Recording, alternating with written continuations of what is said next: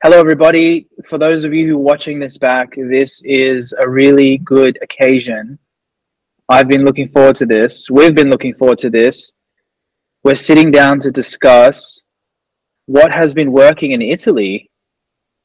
And if you don't know, things have been working really well in Italy within the AV network. And there's quite a story that comes along with Italy's history within AV. And Silvia deserves a spotlight. And Andrea is here for two reasons.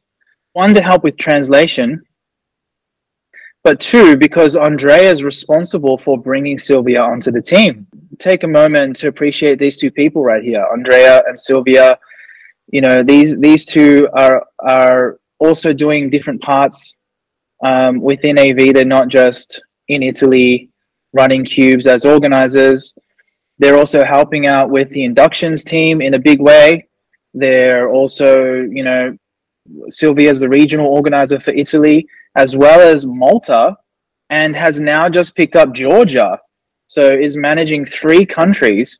Um, you know, so these are powerhouse activists that we have here. And this meeting that we're recording for everybody to watch back is for the purpose of delving into the story a bit more for the sake of inspiration for you guys. And we're also going to talk about what has worked and what they've learned throughout this process. And these are the things that I've observed them learning, and I've learned and relearned a lot of these things as a result of observing these, you know, these two and the the challenges and the way things have unfolded in Italy and, you know, it's interesting because, you know, there were some videos made about AV during the time when we had a regional organizer who was representing Italy. This regional organizer came to one dam day, actually.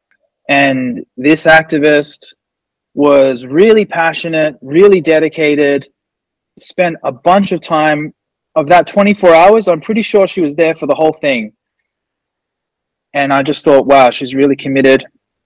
She became the regional organizer for Italy.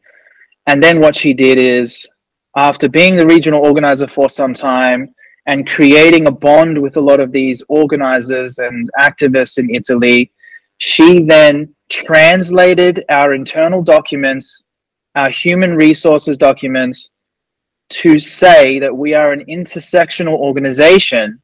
And this created a whole dis i mean it was divisive to say the least what happened after that. Because a lot of people found out that we are not intersectional and they thought they signed up you know because she was handling the inductions for all of these organizers.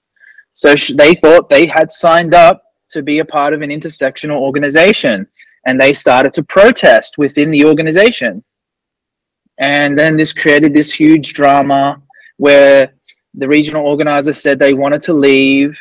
And with that regional organizer, a lot of chapters also left. A lot of organizers left, and, and I'm not sure what they're all doing now, but at the time they said they were going to do something.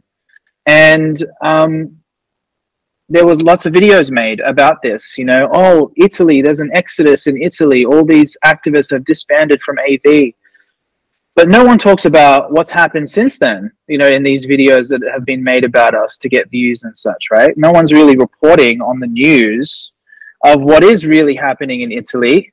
Since the subject has been brought to the public eye this video is only for the organizers within av but you guys get the real knowledge on what's going on in italy. Let's talk about the positive. Let's talk about what has happened since that exodus in italy.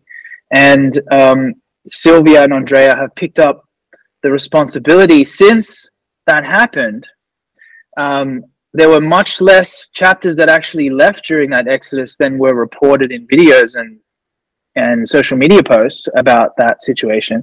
But there was still a significant amount that left. But what has happened since then?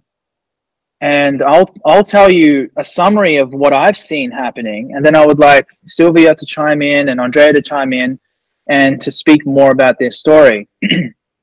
but we're here to talk about the things that have worked and the things that they've learned, and I've learned also, I'm sharing my experience with this experience also, um, is for you guys to take a piece away from this that helps you with your mindset and your attitude and your determined work that you're doing within AV for the animals. That's the purpose of this video. Because, uh, you know, I was recently in Taiwan and, you know, that experience in and of itself taught me so much. And those activists were phenomenal to work with. So I want, and I've noticed that there's a lot that organizers need in terms of training.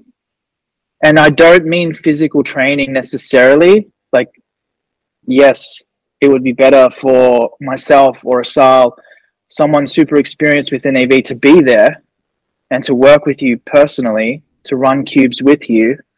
But hopefully, this video can help with a lot of the stuff that we hope for you to take away and to learn when we do actually come to your cities.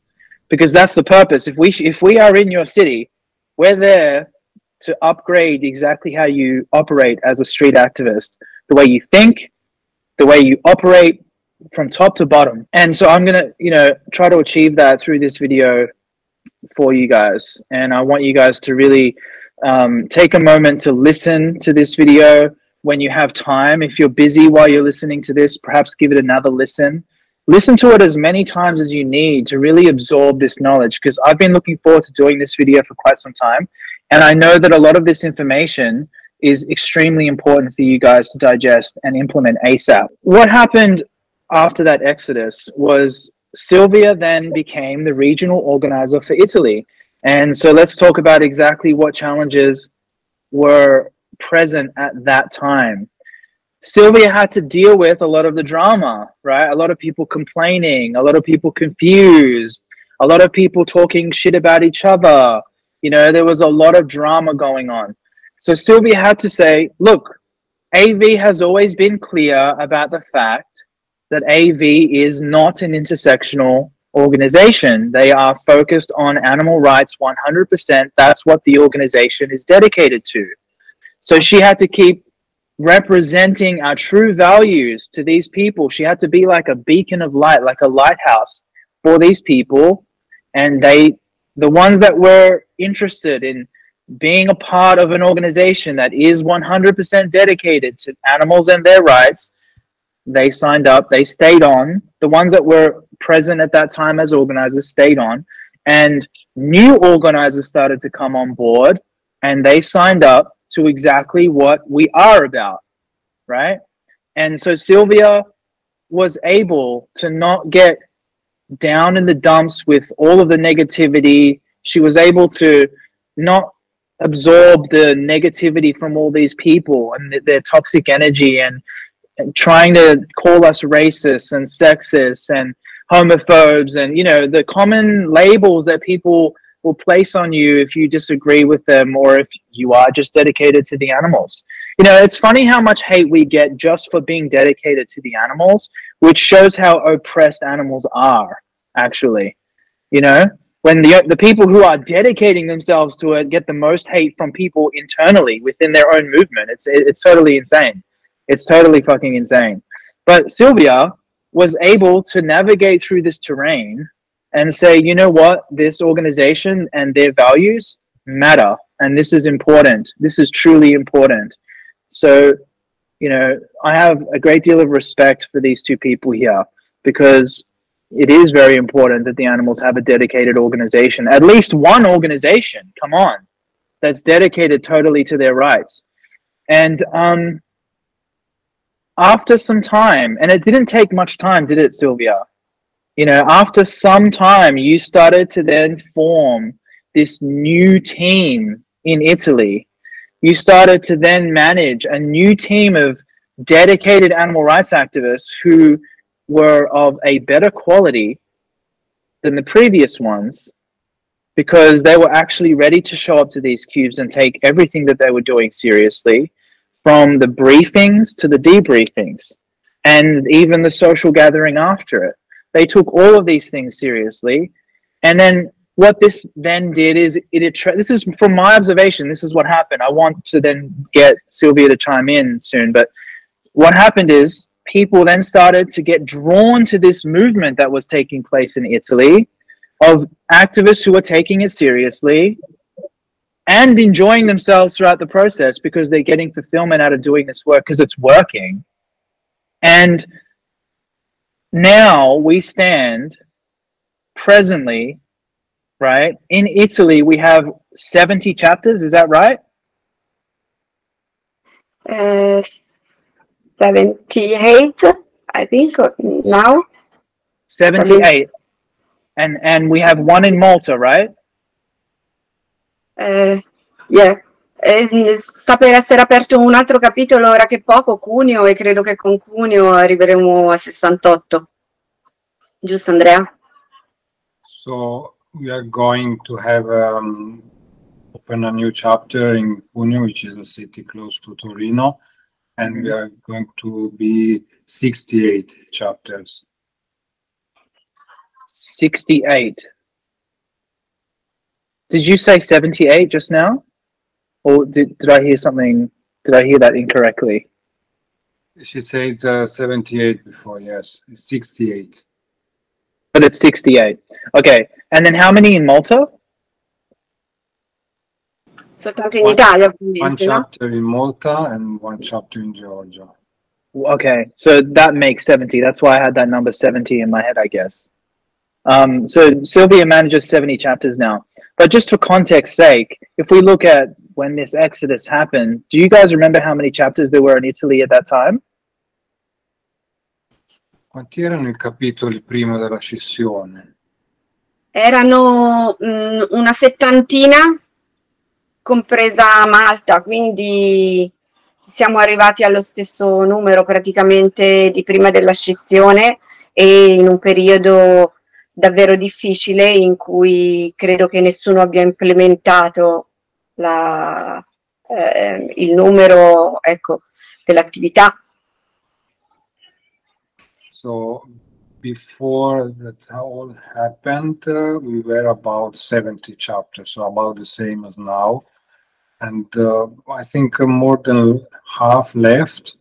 But then with re- reinduction, within uh, three years, we have been able to build up again to the same number. Yeah. So this is why this is why I think this video is important, right? Because I'll, I'll also add this, and I think that you will both agree that it's not just about the number; it's about the quality. I mentioned that earlier. So now we have 70 chapters currently active, but you know, I rest assured knowing that these chapters are all actually on the same page. They're actually signed up to the true values and the true things that we represent as an organization. So this is the difference, right? This is a massive difference because who knows what people are talking about while they're doing outreach at a Cube of Truth in a chapter that doesn't even really subscribe to what we subscribe to as an organization, as a global entity, you know? Uh, and so this is phenomenal news for everybody to take inspiration from. Currently, we stand with just as many chapters in Italy as there was during this exodus, during this intersectional attack on the animal rights movement. And I don't mean to, I'm not even trying to start any kind of war by saying this. I don't care for any of these battles anymore. Let's just focus on our work. But that's what it is. We, we know we know how to identify it because we've seen the greatest in our movement being being affected by it. We know that it's an issue, right? So I'm just calling it what it is. But here we stand. Let's be positive. Let's just focus on the positive right now. Here we stand with just as many chapters, numbers wise. We're unaffected by what happened back then. But are we stronger or weaker now? Much stronger. That's the answer to that question. Each chapter that we have in Italy right now, I'm confident represents the true values of this organization. Is out on the streets taking the work seriously. They are representing the animals and the reality of the victims correctly and focused on being effective, using their time wisely, building community based on the proper principles that this movement should be based on. And that is vastly different from many regions, you could say, you know, vastly different from many places around the world, not just within AV, but obviously just within the animal rights movement at large. You know, as a matter of observation, I think that this is very rare what's happening in Italy. If you're an animal rights activist in Italy right now, I'd imagine that the street activism movement has a buzz, is popping right now. People would know that getting active on the streets in Italy, if you're in Italy currently, is a thing that's happening, and that's that's really cool. So I want to shine a light on this. You know, the culture in Italy around animal rights activism is currently energetic. It's currently, you know, electric. I would say on the streets, people are getting out there and they're doing the work in in the bigger cities and the smaller cities. And so, you know, would you agree that the quality of the activists that you currently manage, Sylvia, are of a really high caliber in terms of their professionalism. Sì, la cosa bellissima che è accaduta dopo, come reazione a questa, a questa scissione molto, molto brutta, vissuta come un grosso tradimento, eh, è stata che eh, con il tempo ricreandosi ha, ha lasciato ad Abu i, i, migliori attivisti, i migliori organizzatori che hanno fatto mh, così creato dei gruppi di attivisti molto preparati. E quindi ad oggi posso dire che i capitoli italiani eh, hanno alla loro guida degli organizzatori davvero preparati, davvero focalizzati sulle linee guida di Anonymous e Malta era già un capitolo fantastico prima e sta continuando ad esserlo e adesso è con noi anche il capitolo di eh, Tbilisi in, in Georgia e sono davvero tutti molto attenti al seguire le linee guida, alla professionalità indicata da AV e eh, alla lealtà. Questa è una cosa fondamentale, la lealtà eh, che c'è e che prima non c'era eh, ha davvero cambiato il panorama dell'attivismo da noi. So this uh, split that happened more than three years ago uh, had been linked to a betrayal at the time. But then we recovered from it and the quality is effectively much higher now because uh, the uh, organizers that we have now are really committed to the AV values. Uh, the level of professionality has risen a lot. And uh, a very important point is the loyalty towards mm. the organization and towards mm -hmm. the guidelines of AV. So uh, now we are sure that everybody in uh, Italy is on the same page and that they follow the AV guidelines at a very professional level. Mm. And let's talk about those guidelines. And then I'd like to talk more about managing people because this information in this video is not just relevant to regional organizers watching this back. While it is largely relevant to you, because Sylvia mainly operates as a regional organizer. This is also relevant to our organizers because you guys also manage people, you manage your volunteers. And the purpose of being an organizer is to build a community of people. And I, I don't know how, I don't 100% feel no, it is a community. I, sometimes I feel a bit funny about the word community because there's a false sense of community in the animal rights movement, I'd say. In in the animal rights movement at large, I would say. I would say it's a bit fabricated the way that it's you know, like it's a bit of a fable is what I'm trying to say, right? However, as it, when it comes to like a local activism chapter, you are building a team based on common unity. That's what the word community means anyway. So that it whatever. It does mean you are building a community. So you're a community leader. You are building a team of human beings for the common purpose of fighting for animal rights in an effective manner and coming together based on that purpose and that principle. And your purpose is to build a chapter to not just, you know, build it based on numbers. Of course, having more people is good, but building in terms of training and building character and mindset, because this is the main thing I've seen with organizers needing help with is mindset, being able to understand that yes, you are, for example, you are going to deal with people who are going to be detractors. They're going to try to come against you. They're going to try to say that you are a homophobe, that you are a racist, you are a sexist, you are a whatever, you know, in order to take you away from animal rights. And so you have to be someone who has the right mindset and the right attitude and say, I've heard this and I've seen this before. I don't need to get sucked into your your nonsense. I'm just going to stay focused on what I'm doing. Thank you very much. You know, you need to be able to to detract the, the detractors. You need to be able to protect yourself mentally and emotionally from these people who want to be toxic in our movement. And there's so many of these people. This is why I say there's like a fabled sense of community in the animal rights movement at large. I'm dropping some real truth for everybody right now. If you're a new vegan listening to this, you will thank me one day for the knowledge that I am giving you right now. Even if you are a seasoned vegan, I'm telling you stuff to remind you. Right? If you if you know this already, I'm reminding you. I'm drop I'm still dropping some real truth for you to be reminded by and to get you on the right page if you've been slipping. And I know that it's easy to slip because there's a lot of things that you will hear and feel when you know when you are paying attention to what's being said and done in the animal rights movement at large. Our work has always been trying to focus on truth. That's why it's the only word we use at the cube. Right? We don't have any other word. It's a lot deeper than you guys may think when, when it comes to that. There's a reason why we only use that one word. It doesn't have the word vegan in it, it doesn't have the word animals or animal rights in it, the word truth. Why is truth the word that we chose?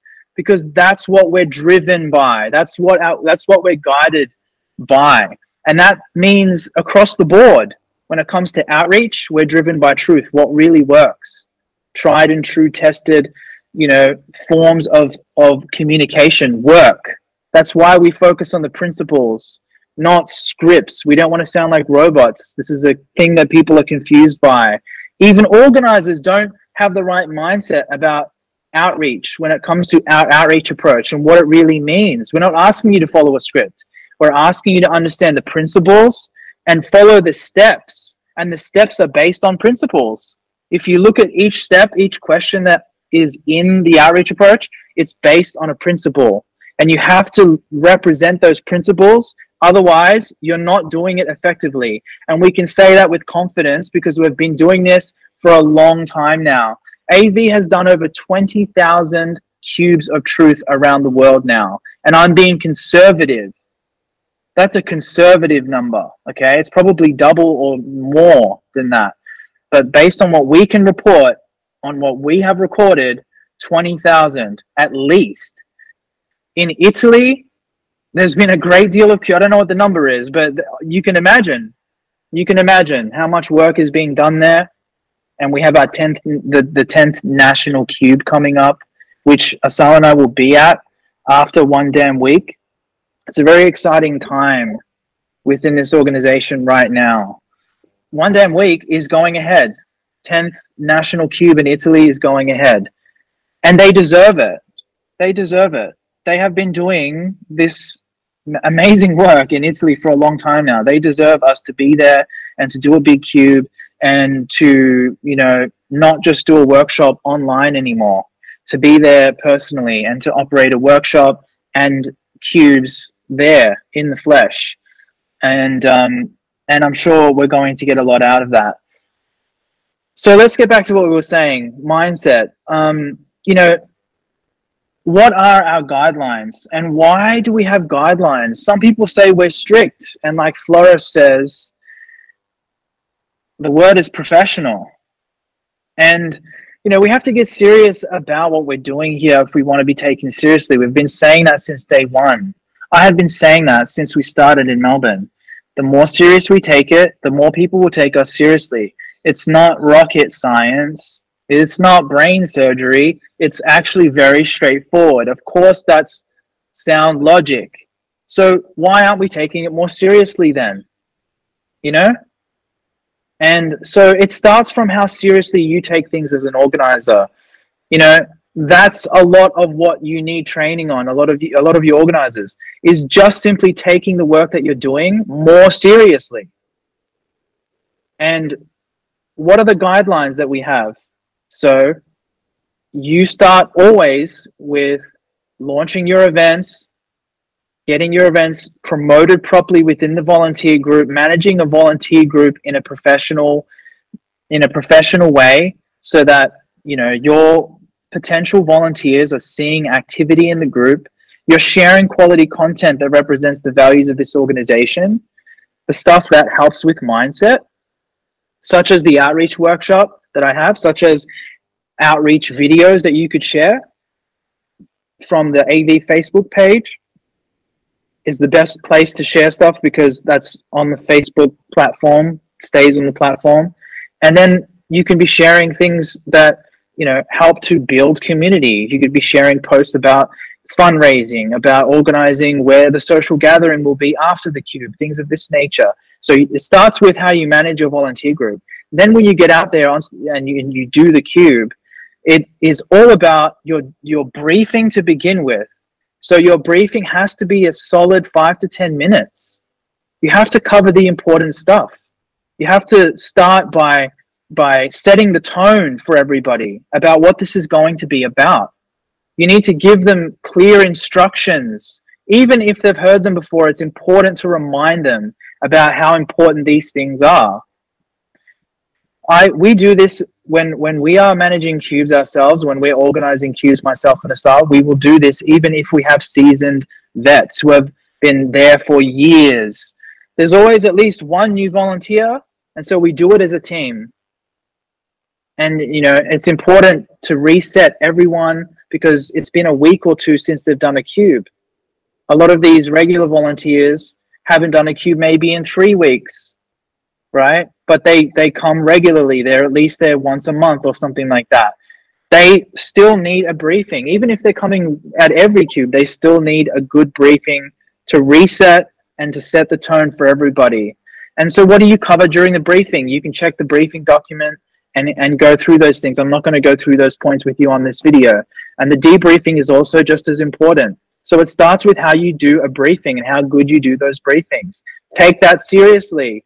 You know, make it make it interesting. The way you speak has to be the opposite of boring because people are going to fall asleep if you're doing a briefing and you're putting like the most minimal amount of effort into speaking. So if you're just going, "Hi everybody, so we're going to be doing a cube of truth today, and I need everybody to be standing really straight in the cube," I would fall asleep. So just be mindful of how serious, again, it just comes down to how serious you take it. And having your equipment, you can start, if you're a new organizer, we're talking about just starting with what you can start with. You don't need to have TVs immediately. And so making sure you can logistically travel to the location, the best location that you can select within your city to do a Cube of Truth. And you, the way you set everything up has to be done professionally people shouldn't be wearing bags. I'm not, again, I'm not going to cover like what's in the briefing document and what our guidelines are to a T.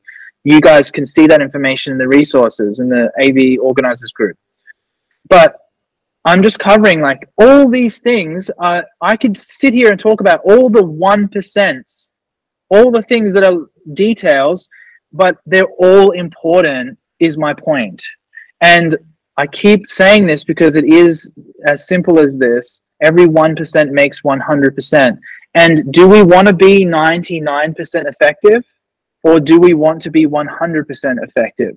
And, you know, if I'm being honest, a lot of organizers aren't even 75% effective. And I'm not saying this because like I'm trying to be a dick. I'm just being honest. I'm being honest about how dedicated people are across the board to representing all of the guidelines the values behind the guidelines and and following the guidelines a lot of you are slipping and you know, to a degree, it's understandable. You guys didn't create this model. You don't, maybe you don't believe in it as much as we do. Maybe you don't trust it. Maybe you don't care about it as much as we do. But nonetheless, your success on the streets will be determined by how serious you take the work you do, regardless of which organization you work with or if you do your own thing. So I'm just calling it how I see it. I need to be honest with you as a leader within this org, just like I want you to be honest with me. But it, it, I think I'm just pointing out here that, you know, a lot of you aren't even really trying to push it up into the 90s and the 95% plus mark on this. So what I'm talking about is getting to 100% because that's the aim that we should have even if we miss by a few percent, which we always do anyway, because we're not perfect. We're always going to make mistakes. But shooting, aiming for 100% should be how we think. That should be our mindset, our attitude. If it's not that, we're not striving to be better at each cube. And we ought to be striving and moving forward always, not just going out there and doing a subpar, lackluster cube each time. What's the point of that? Aren't we dedicated to the animal rights movement in a significant way? Don't we want to push the movement forward? That's the whole point of the Cube of Truth. Have you noticed that AV doesn't do any other form of activism? We only do a Cube of Truth. And why is that? Because there's so much to learn and do with just a Cube of Truth. There's so many levels that we can take this to with just a Cube of Truth. There's so much that we can do with a Cube of Truth so that's why. Look at all these campaigns we've created around the Cube of Truth. Look at all the different creative ideas that we've been able to implement. And look at the evolution of the Cube of Truth. You know, it's just, it's evident that we're always going to be able to get a lot out of this work and contribute a lot to the animal rights movement by doing this work. So, you know, I just want everybody to really reset here and understand that this work is just so important and all the details that go into it are so important. And I'm getting into this specifically because this is what Sylvia has been able to do in Italy is bringing everybody to an understanding of how important these things are exactly and getting to a point where everybody has a common understanding about this. It's not even a debate anymore. There aren't people fighting with each other anymore saying, no, it's not effective. Yes, it is. Everyone's already on the same page. And now people are talking about how to make it more effective. You know, the only feedback I usually hear from sylvia these days, and and by the way, it's actually breathtaking how little complaints come from Italy. Now that now that we have such quality in, in Italy, there's almost no complaints coming in. I don't even remember the last time there was any drama in Italy. I can't even remember the last time there was any issues in Italy. And so what I'm trying to say is if we do hear any feedback, it's usually about how how can we be more effective? Oh, uh, you know, something about the music. Oh, it's something about um, setting up a social media account for a chapter within Italy, or it's something about you know uh, the merchandise, how we can do the merchandise better. It's just people are trying to make the organization and what we stand for even better. That's the conversation. It's not, oh, why aren't we more intersectional? Which is usually at the core of most of the issues and the dramas we face, to be honest. So this is a fantastic job that, that I'm doing most of the talking here so that everybody can really digest this. Um, because I know that the translation it slows things down a little bit. Can, things can get lost in translation, as they say.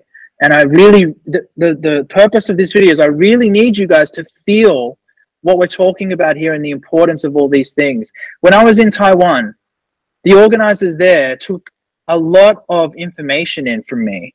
And I was really moved by how well they took everything on. And we were just talking about the little things. Hey, these cubers, they need to stand back just a little bit.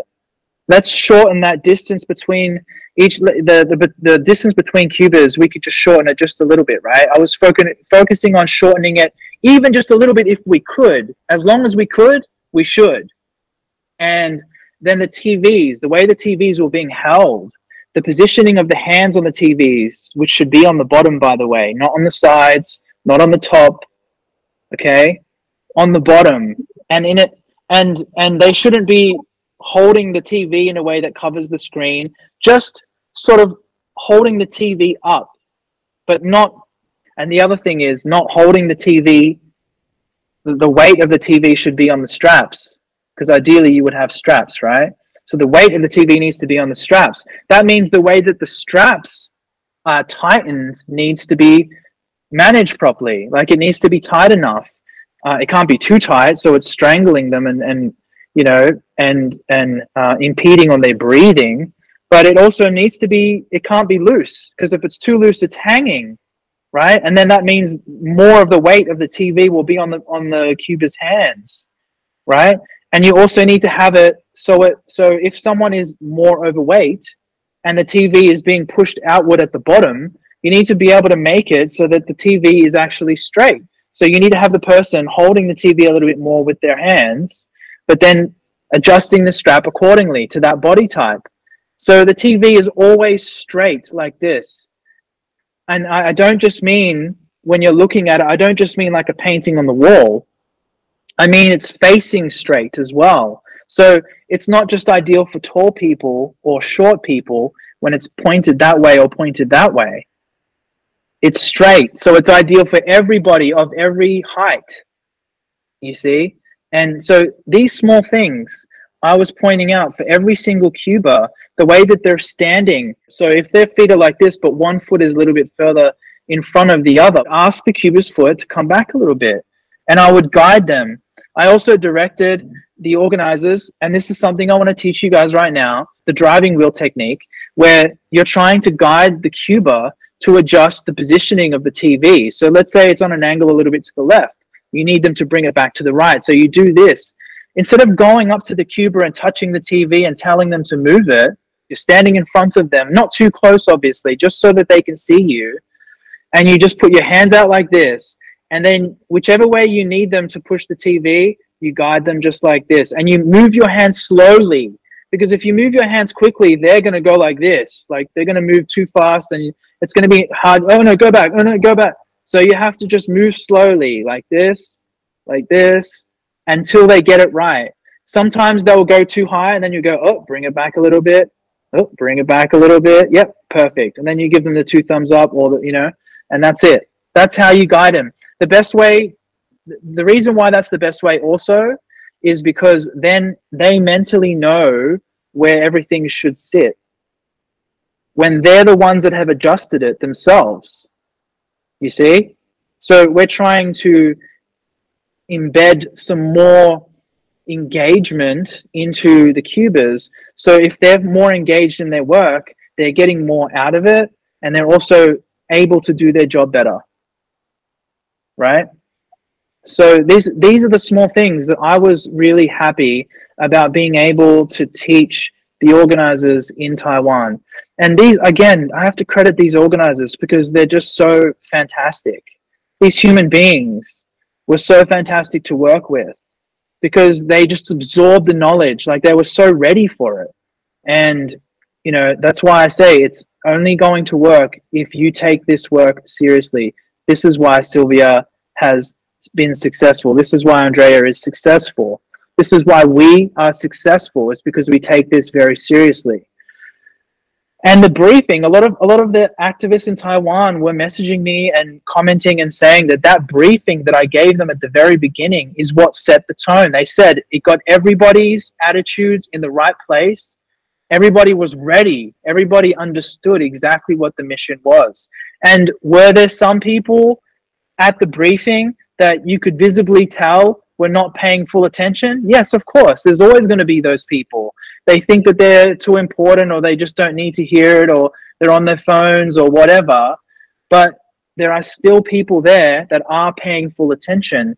And even those people who aren't fully paying attention, they still need to hear this. They still need to hear the tone that's being set. They still need to hear this, even if they're not fully listening.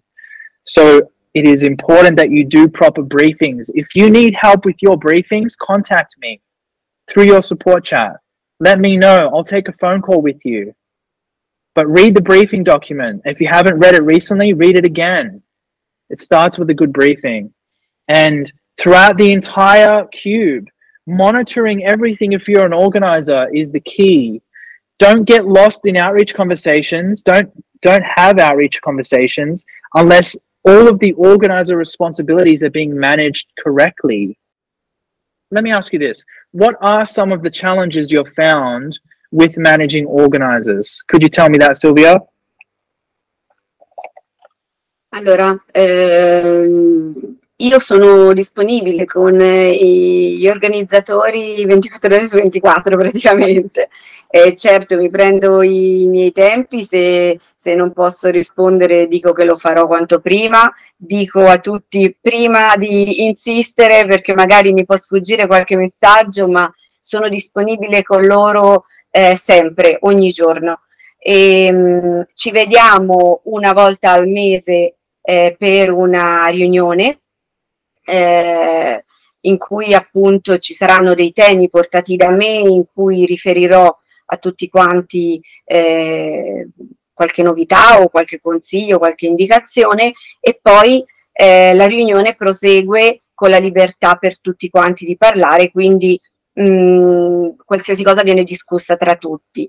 Oltre a questo io eh, sono in tutte le chat degli, degli organizzatori, ne abbiamo solo per organizzatori, ma anche di ogni specifico capitolo. Quindi se c'è una problematica in un capitolo, gli organizzatori scrivono in quella chat e io eh, li supporto in quello che c'è da fare. Quello che è molto importante è l'esempio, secondo me, e la presenza, esattamente come Pole Asal fanno con noi, eh, regional organizer.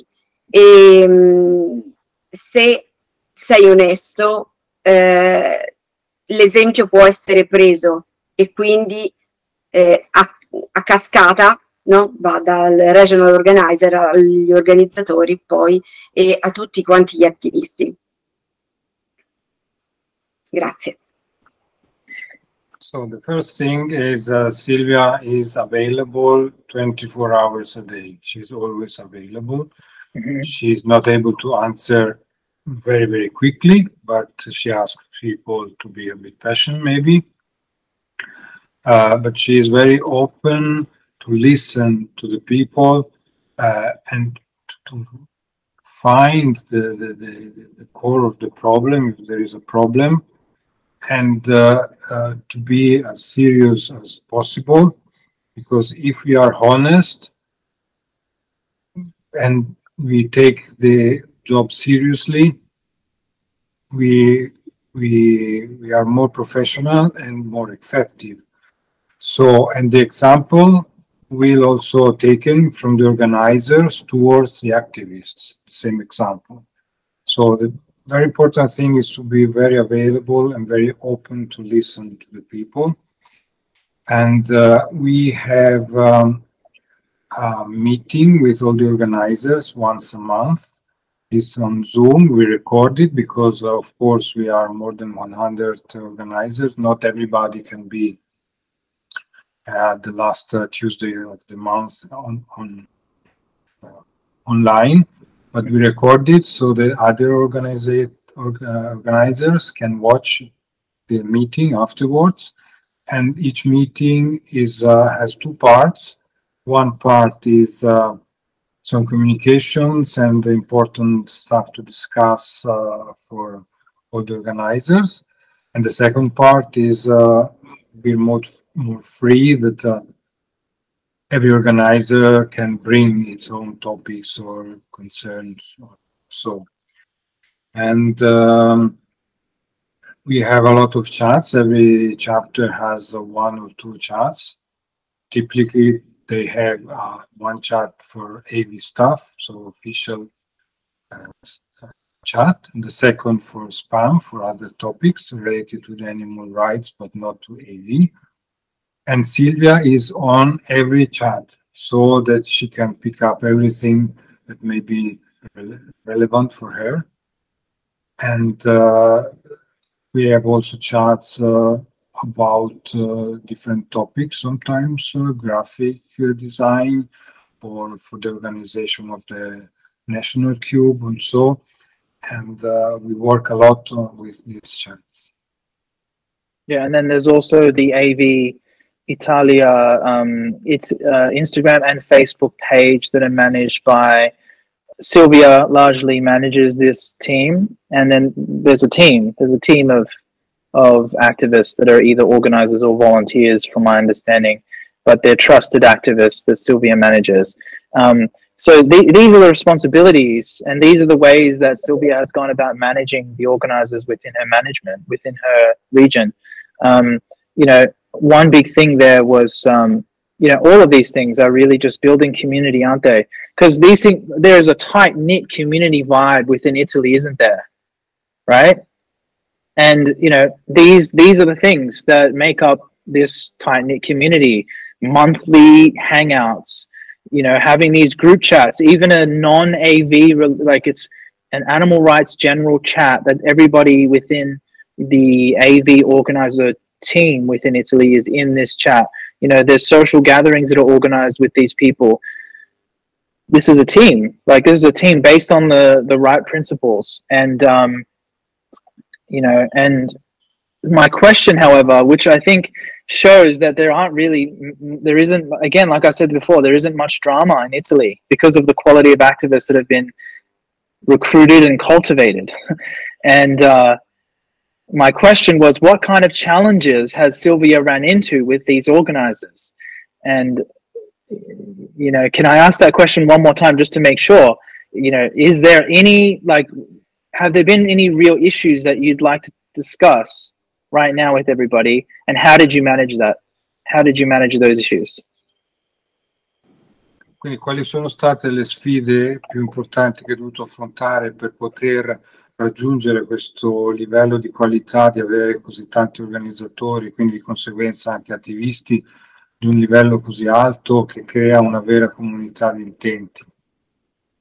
Yeah, and before before you answer Sylvia, I just want to say because Sylvia did you know mention about how you know once there is a problem, the way that Sylvia manages it is by taking a call with the activists and getting to the root of the problem, and, you know, and being being very matter of fact and honest and serious about how we deal with these things and just getting to the core of it. And I'd like to speak on that a little bit more, but now I'll let Sylvia answer that question. If there's anything specific. Mi vuoi aggiungere Andrea e poi così rispondo? Non... ho solo specificato quello che ha notato in te, che appunto prendi molto seriamente le questioni e le tratti con onestà. Quindi quali sono le sfide che hai dovuto affrontare sì. e come le hai affrontate? Sì, è importante eh, capire questo, che di sfide ce ne sono state, non è stata una cosa semplice e quindi anche gli altri RO si possono trovare nelle stesse difficoltà e magari ehm, può essere utile sapere come, eh, come è stato fatto in Italia. Ehm, la sfida eh, più, mh, mm, più, dura è stata quella eh, più importante, cioè la difesa dell'organizzazione. La difesa dell'organizzazione perché quando sono oh, entrata nel ruolo eh, praticamente era diventata una moda, eh, eri nel giusto se andavi contro AV perché AV era e tutte le cose che venivano dette, sessista, omofoba, razzista, non intersezionale, quindi tutte cose gravissime. Eh, la cosa ehm, tosta da affrontare, inizialmente ancora più tosta perché eravamo davvero pochi a, eh, a credere in AV allora, era la comunicazione con tutti quanti sul fatto che eh, Abu non meritasse affatto certe critiche e che non essere intersezionalista non significa essere un oppressore, significa dedicarsi completamente agli animali, ma ciò non toglie, e le char policy lo testimonia benissimo, che Abu è molto attenta ai rapporti interpersonali e al fatto di dare ai propri attivisti una zona estremamente confortevole e protetta. E quindi il far comprendere questo con l'esempio, eh, con le dimostrazioni, è stata la sfida ehm, più difficile, ma ehm, è fattibile, questo voglio dire a chi si trova in, questi, in queste problematiche tutt'oggi. È assolutamente fattibile mettendo la propria faccia, la propria onestà, il proprio esempio e le proprie rassicurazioni ed esserci sempre a, a spiegare questo a chi ne ha bisogno. Non dico che tutti quanti accolgono questo, ma è una minoranza quella che non accoglie questo discorso e restano soltanto gli, gli odiatori seriali che eh, non sono ovviamente da prendere in considerazione come bacino di utenza.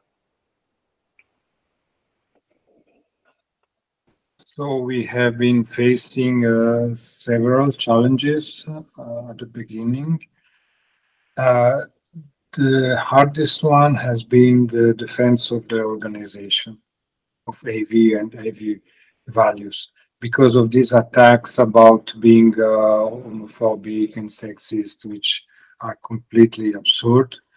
Uh, we also uh, had to make people understand that the fact that we are not intersectional doesn't mean that we don't care about other things. It means that we are focused on animals, but at the same time, we, we are able to uh, create a safe zone for the organizers and for the activists. And we are there just for, for the animals. Mm-hmm. Um, so at the beginning, it has been very difficult to make people understand what are our, our values and why we focused only on animals. But mm-hmm. the very best organizers, the ones that maybe not the very best, but the ones that are good for us, for our organizations, and from our point of view for the animals, are the ones that understand this thing.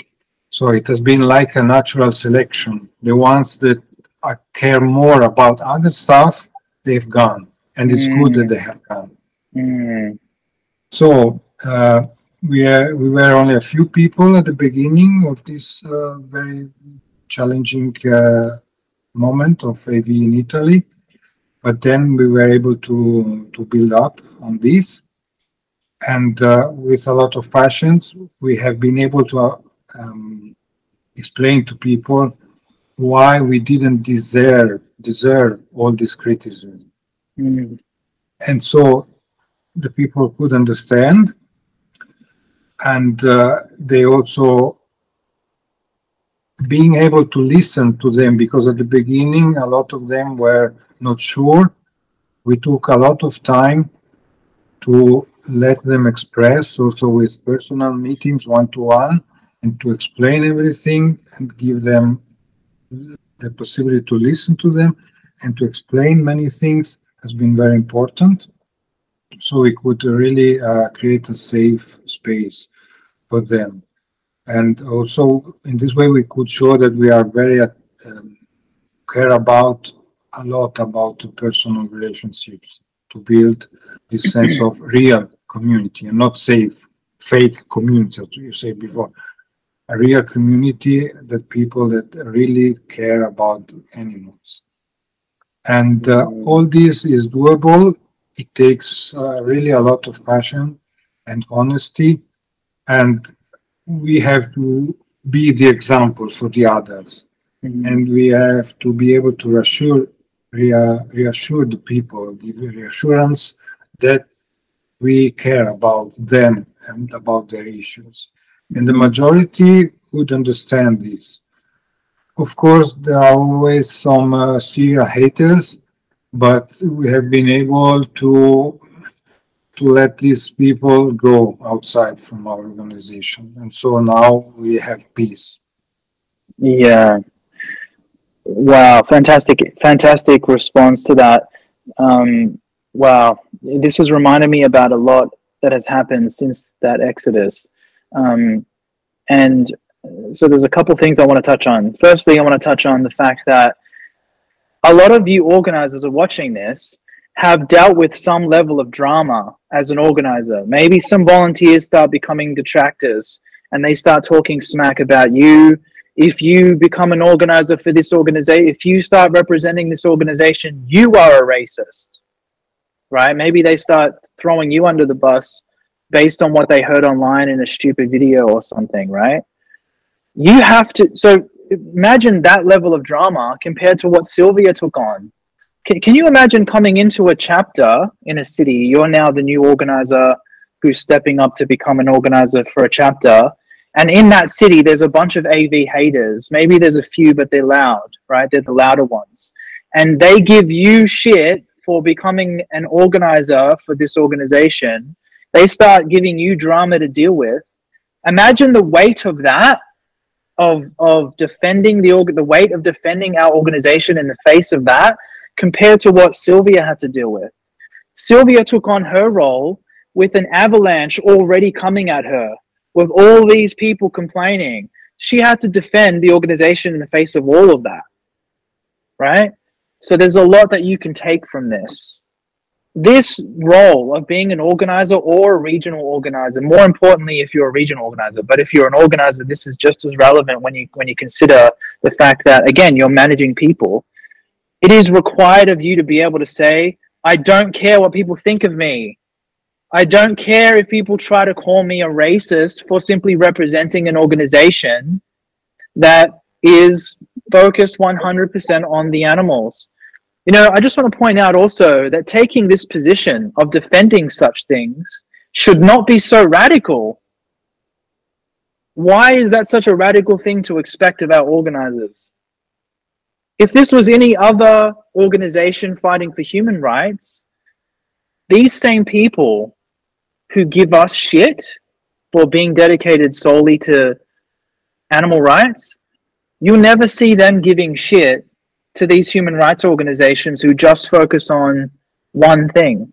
You'll never see them trying to tear them down and saying, no, you should also focus on gay rights or whatever they think is the most important thing or whatever they want to focus on. Why is that? Because it would be incredibly insensitive and distasteful for them to do that, wouldn't it? Wouldn't it be? But this just shows how oppressed the animals are. They can't even get a they can't even get a movement. They can't even get a movement dedicated to them, like fully dedicated to them. That's how oppressed they are. You know, and this is why I'm more than happy to dedicate my life to their plight because they're the most oppressed. And it's just, it just keeps proving itself to me. You know, and like there's so much evidence in the way that vegans act to, to, to point out, to indicate just how oppressed these animals are. So we need to cultivate a team. Whether you're an organizer or a regional organizer, your job is to cultivate a culture, a team of people that understand exactly what I'm talking about right now. Right? The, our core value at the end of the day is representing what? The voiceless, the animals, representing the most oppressed, understanding that they are the most oppressed, understanding that the animal rights movement currently does not act the way that it ought to, for the most part, if you're paying attention. Uh, is there good work being done? Of course there is, and I'm a I'm a big supporter of it. But is there enough being done? No. That's why we need more people to understand what I'm talking about, to understand the values that we bring to the table. Why are we still the most relevant street activism organization in the animal rights movement?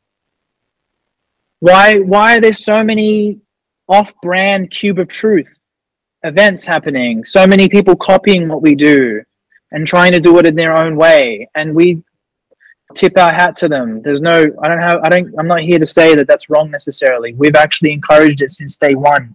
If you're paying attention, if you read the Cube of Truth manual, it says, we wish you well if you want to do that. Go ahead and copy everything.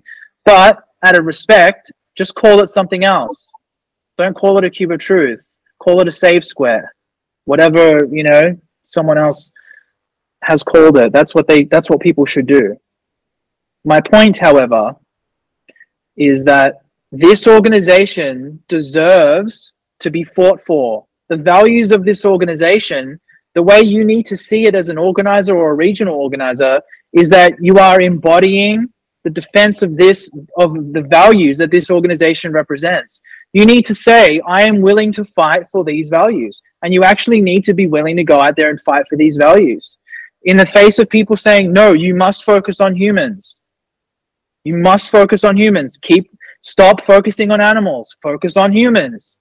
You need to be able to say no i will focus on humans during another time doing another another action during another scheduled action for whatever cause that is. I'm here to do a cube of truth, which is only like once a week, guys. Get a grip. We're only doing this for three or four hours a week. That's if you're a very that's if you're a frequently active chapter, by the way. You know, I'm I'm I'm only talking about like a frequently active chapter being active only for three or four hours a week.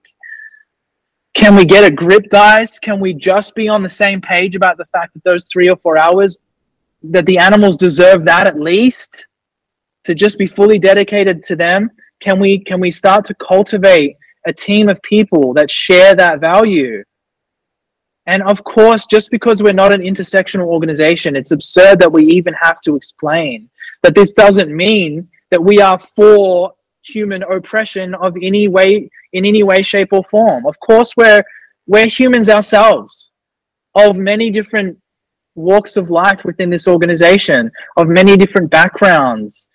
Of, of course, we're for human rights. It's an absurd thing to, to, to even say. Like, it's, it's just as absurd as non vegans saying to vegans, Do you also care about humans as much as you care about animals? Just because we're fighting for animal rights doesn't mean we necessarily are oppressing or for oppressing humans. It's ridiculous. Again, this would never happen if it was a human rights issue, if this was to- if this was based on human rights activists fighting for whatever cause they believe, uh, or, or I should say, they're invested in, dedicated to ending whatever they're fighting against. These same people that, that offer this criticism that, that that will try to cancel you, these same people will never do it to those groups. They'll never go up to those groups and say, "Hey, you should be focusing more on this instead of that."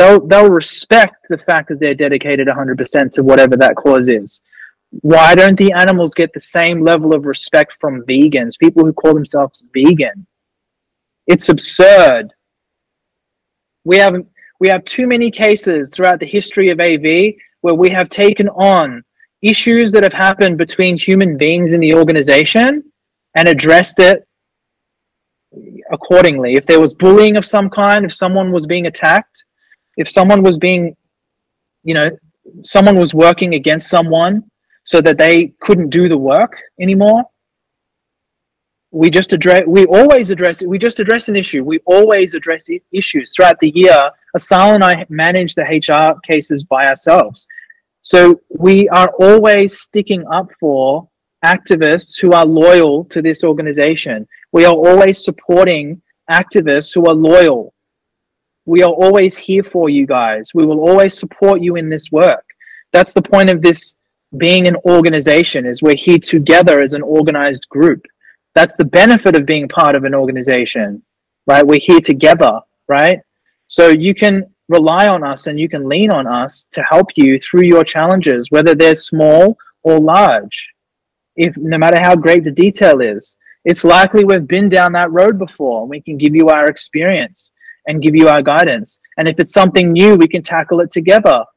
For example, what's happening in Italy right now is, uh, at least in one city, is uh, the authorities or the specifically police officers that are probably breaking the law are trying to say that we can't use um, certain kinds of footage, like the the footage is too graphic. We've seen this happen in different parts of the world before, but what we're doing here in, in Italy, because when Sylvia brought this to my attention, I said, let's fight this, right? And Sylvia is now taking this on. Again, I tip my hat off to a Sil- this is uh, this I'm I there's a reason I'm doing a video with these two people. I have so much respect for both of you. Right now, Sylvia has found a lawyer and we're going to be fighting this. We're going to take this all the way to court. And if we need to raise money, we'll do a fundraiser amongst a rich community now. I don't mean rich in, the, in, in terms of money, I mean in terms of quality. We now have a fantastic community of activists in Italy who will, of course, support this fundraiser should we need funds. And maybe even the network at large would want to support such a thing because this would be the first time that we actually take something like this to court. And I always assume that one day it might happen. We are going to get stopped perhaps one day by authorities. There are some countries, of course, we wouldn't even want to fight it, like in China, in Hong Kong, for example. We don't want to take things to the court and try to fight it there. There's just no point. I don't think. Unless someone can educate me on the political system there and, and the edu- and the, the legal system there beyond what I know about it already. But in Italy, for example, we have a chance. We have a fighting chance, right? Because there is a court that we can get favor from. And we are fighting for basic human rights here. Again, an animal rights organization is currently fighting for human rights. That's what we're currently doing in Italy, right? Why why isn't this talked about when we are looked at as such, you know, oh, these guys are so anti-human rights. Really? We're actually in the position right now where we are fighting for human rights in Italy. And it's just a basic fundamental human right, the freedom of speech, essentially, the, the freedom to peacefully protest. If that isn't one of the most basic fundamental human rights, I don't know what is. And we are currently fighting for that, not just for our organization, but for the sake of all activists speaking up against any injustice where the injustice is graphic we are currently sticking up for our right to speak about that in a direct, honest, and truthful way. How's that for human rights activism? And Sylvia is taking this on, right? We are currently doing this to fight against, again, to also fight for the values of this organization. You have to be willing to do that. You have to be truly aligned with the values of this organization. You know, I, I think we're at the stage now where we can say enough is enough if you don't align with this organization, the time's up. Make your decision, save everybody time, stop trying to take advantage and use the organization for your benefit. Just be honest and say, I don't align with this organization. I want to do my own thing. And you know what? I will always support you. If you reach out respectfully to me and ask me for advice on what you should do as an activist, in other things. Like you, you know, by the way, I do this all the time. There are many people that have left AV on respectful terms and are now doing their own thing. They've started their own organization or whatever, and we still maintain contact because we respect each other. And they ask me for advice on things, and I always have these types of messages that I'm that I'm responding to. So you know, if you think I'm some type of like either you know you either do AV or fuck you, I'm not like that. So my point is, respect what we're doing, be actually be aligned with what we're doing here and show us the respect that we deserve. And we will show you the same amount of respect back if you do that. You're either a part of this AV thing that we're doing or you're not. Make your mind up. Please decide and don't waste our time. We take up a lot of responsibility. Each of us take on more than one role. A lot of us, myself, I'm I my hands are uh, in several things within AV. Same with Sylvia, same with Andrea, same with many of the people that work within AV. We are currently taking on a lot. Please respect all of our time and our effort to make this organization work. What I'm telling you right now is the mindset that Sylvia brings to the table when she is talking to her fellow organizers. This is what it's all about. You know, we can talk about the really small things.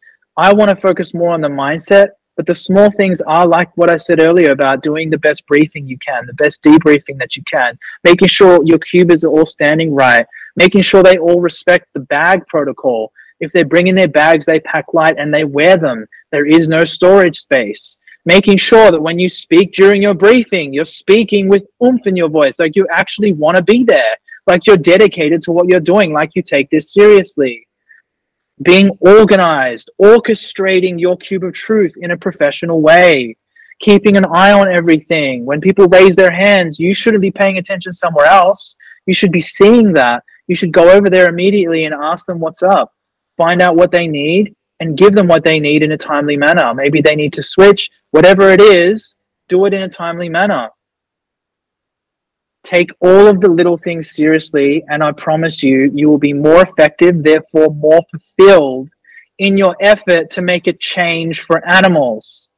The, the most common symptom of an animal rights activist is hopelessness of any activist. And the way to avoid that, the way to dispel frustration, to, to remedy frustration and anger, if you're paying attention, you ought to be feeling angry at what's going on. The way to overcome that is through effective activism. It's the only thing that has given me fulfillment and has helped me to feel like, okay, I'm making some progression. I am creating change, and there's so much potential for me to get better at this, to make even more change. And you all need to adopt this mindset if you don't already. And if you do, and you need a bit of a reset, I hope that this video has served you well. The other thing that I wanted to talk about, which I just remembered from earlier, I said there were two things. The other thing is what Sylvia does. This is a cheat code for all you to pay attention to. What Sylvia does when a new organizer comes onto the team, because she handles the induction call, this is how thorough she is. First of all, before they even go through the induction process, Sylvia takes a call with them. She organizes a one on one call with them. Then she says, Here's what the organization is all about. Are you sure you want to join? Right? And then they either say yes or no because now they're really sure about what the organization is about. And then through the induction process, what Sylvia does also is she explains the background for AV in Italy, the history, what happened during this exodus, the lies that are being spread, the truth, the truth, the truth. So they can decide where they stand, which side of this do they stand, and they know what they're signing up for. They're also being, you know, a lot of this mindset stuff that I'm talking to you about is being instilled in them by Sylvia. She's then saying, you may have to deal with some of these lies. They may be directed at you. You may be, you may have to deal with some drama. Just that drama may be directed at you and may be designed to try and stop you from doing your work. Are you willing to deal with that? Are you willing to stand up and to stand your ground and fight? This just happened in Melbourne, by the way. AV Melbourne had a break for six months, the only hiatus outside of the pandemic that AV Melbourne has ever taken. Usually, there has always been an organizer, and usually, it's a weekly Cube of Truth in this location on Bourke Street Mall. Most most consistent chapter in the world, perhaps, right? just re-engage with a new organizer. I handle the induction process. I'm the regional organizer for Australia, so I'm managing this from a, from a distance, but I'm managing it as close as possible. And one of the activists from one of the volunteers that used to volunteer with us uh, was then causing some problems for us, trying to work against us in some way. And I addressed it by I addressed it by talking to the activists directly, by reaching out to them and they agreed to a phone call, which I'm glad that they agreed to, and we talked it out over the phone. And then the new organizer, I also did this with. I inducted them, giving them full knowledge of what the landscape was in, in Melbourne and how I was going to help as their regional organizer to address this with them. And then this organizer was, I had to then say, Are you willing to stand up for the organization and, and stand your ground should they show up to the cube and try to do this, that, and the third, right? If they try to work against you in some type of way, are you willing to do? I gave him some specific advice on what to do. I won't get into that right now because it doesn't matter. My point is, is I gave him guidance on exactly how to manage the situation because I've been there.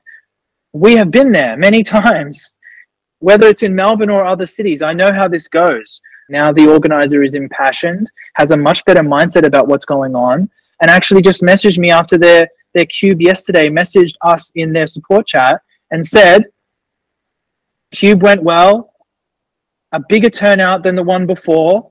The, the volunteer attendance is building. They're getting a good sense of what's happening. They're starting to, and they hit the ground running. This organizer hit the ground running. And if you're watching this back, Jesse, you're the man. You know, I'm proud of what's going on there. Um, so far, so good. You know, we're off to a good start with getting that chapter back up and running. But this is what it's all about. It's about mindset. It's about understanding that, you know, what are you even sticking up for if you represent us? You're sticking up for the basic value of, like I said, just simply being 100% dedicated to animal rights. Is that so radical of a position to take? And, you know, beyond that, we have some basic principles around respect and stuff that we expect. You know, like in the way we communicate to each other or the way that other activists should treat us. You know, like for example, in Melbourne, the issue was sort of around not respecting the fact uh, that we have been doing the work that we've been doing there for as long as we've been doing it and overtly disrespecting so that's why I had to address it, and that's why we addressed it, and it, was addressed in the best possible way. It worked out perfectly, exactly as I thought it would. And I I do think there has to be a level of respect here for us, for the organization, for for the work that we're doing, you know, and for uh, one thing that blows my mind is some so many people in the animal rights movement don't respect the OGs that's what I can't understand is people don't respect Gary Yourofsky and his work, for example. You might have criticisms, but the fact that people don't respect it as much as they ought to just blows my mind. If you don't respect the OGs, I don't know what, like you're I don't I don't I don't see how you're going to lead your life in a very fruitful way. Like if you don't respect those who have put in so much work as a foundation to where we are today if Gary Yourofsky didn't do his work, do you really think that Earthling Ed and Joey Carbstrong and James Aspey and all these people would be around today? Are you fucking kidding me? Like, it's not even a question. They wouldn't be around today. I wouldn't be around today. Do you know how many activists have actually told me that the only reason they're around today is because of him? Initially, the the words he spoke. It's just a fact. You can have your criticisms. That's fine, but it's a fact. The blueprint, the foundation was laid out by the OGs. Respect that. Respect the work that we have done up until this point and the work that we aim to do because we're trying to get better. Respect is important. Loyalty is important. You know, what are we even talking about? Basic human values. Like we're, ta- we're talking about basic things here, common decency, you know? We expect that within this organization because we're human beings and we need that to thrive within our mission to achieve what we're trying to achieve for animal rights. So without making this video longer than what we need to make it, is there anything that you think that we haven't covered that we that you think that we should cover? Silvia, c'è qualcosa che pensi che non abbiamo coperto che vuoi ancora aggiungere in maniera molto breve? Mm, beh, mm, vorrei, vorrei puntare un attimo l'attenzione su questo, stavo pensando. Eh, l'importanza dell'avere intorno, e, e, questo si fa grazie a, ai colloqui di cui parlava prima Paul, mh, mm, delle persone in gamba, delle persone oneste, delle persone che facciano squadra con te nel difendere i valori dell'organizzazione e che come te diano tanto senza avere un, un ritorno egoistico, ma esclusivamente per i diritti degli animali. Pensare a questo insieme, avere questa cosa in comune insieme e fare un team di lavoro in ciascuna eh, nazione e quindi questo è magari un consiglio più che altro per gli RO se, se lo vogliono accogliere, se pensano che sia adeguato, il circondarsi di persone in gamba, di persone con sani principi, che siano leali. A volte si sbaglia nel giudicare le persone, purtroppo ci rimaniamo male, però ci rialziamo e andiamo avanti e sono tante le persone che come te mh, credono in quello che fanno, in questi valori e insieme a te fanno squadra e difendono insieme a te l'organizzazione. E io ringrazio tutta quanta la mia squadra, tutta, in Italia e all'estero per essere delle persone eccezionali quali sono. Li ringrazio di cuore e ovviamente senza di loro mh, non, non, ci sarebbe nessun successo, no? E invece è, è proprio grazie a loro che le cose vanno così. Cerco di fare del mio meglio, arrivo dove posso, eh, a volte un po' in ritardo, ma dedico tutto il mio tempo a, ad AV. Mm, ovviamente a, a, parte il discorso sopravvivenza, ma mh, mm, davvero cerco di dedicarne il più possibile e tutto questo è più facile grazie alla squadra che si è creata e non mi metto a fare nomi perché rischierei di lasciare qualcuno e sono davvero tantissimi. Grazie mille. So it's very important to be surrounded by smart and honest people who work together for the values that uh, we have as AV, focused on animals, and have people that are able to give much the energy without expecting something in return for themselves. Because this sometimes is a problem. I am here for the animals or I use the animals for myself. Mm. It's very hmm. important to be here for the animals and not the other way around. Sometimes we also make mistakes, but uh, we, we improve, we learn from the mistakes and we improve from them and we move on. Uh, Silvia has to thank uh, many people, all the team that we have in Italy, because without this team, she wouldn't be able to do the work as she does. And uh, she dedicates uh, most of her time to AV as much as possible. And uh, she thanked all the team without uh, making any names, but uh, she thanks a lot everybody for being on the same page. And if I can add something from my side, I would say uh, quality is more important than quantity. So it doesn't matter. I we know that a big cube can be even more effective, but we don't have to be frustrated even if we are only two or three people. It's enough. Quality is really more important than quantity. I would argue that it's actually more effective to have a smaller cube with more effect with quality people than it is to have a large cube with people who aren't acting professionally, who aren't even following the dress code probably, who are just outreaching in the most ridiculous ways, getting into long 25 minute conversations about everything other than putting that person in the victim's position. Uh, you know, basically getting into debates, probably just, just, you know, whatever they think is the way to outreach, whatever they want to do as an activist. Um, you know, is that really effective? If you have a bunch of people doing that stuff, I don't think so. I don't think so. I think it's much better to have like three people who have the right mindset and the people that you do speak to being outreach properly.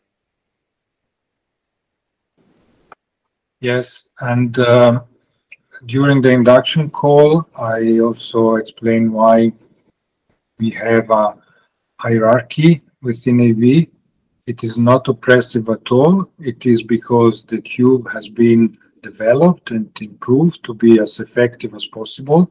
And we want to keep this format as effective as possible. So it's a matter of organization and coordination and also to be recognizable all over the world as the same. And if we have a strong organization, it's good to have also local organizations, but I think a strong organization worldwide can help the animals because we can be taken very seriously mm-hmm. as a mm-hmm. strong organization that is spread out all over the world. Mm-hmm. The last thing that I want to add is to keep a positive mindset. Even if we have troubles or so, uh, what has happened in the world during the last three years would have divided us a lot but being focused on animals, I told myself because I've been many times not, uh, um, I didn't agree with uh, other organizers uh, within Italy about these topics in the world.